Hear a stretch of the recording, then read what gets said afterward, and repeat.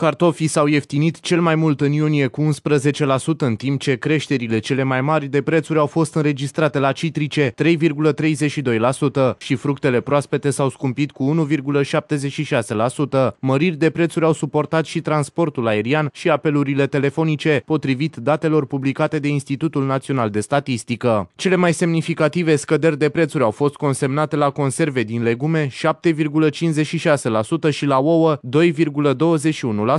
De la începutul anului, cel mai mult s-au scumpit energia electrică 10,31% și tutunul 7,39%. Avem însă și o veste bună. Valoarea facturii la electricitate se va diminua în medie cu 4% în august, ca efect al amânării acordării de către stat a unor certificate pentru producătorii de energie regenerabilă.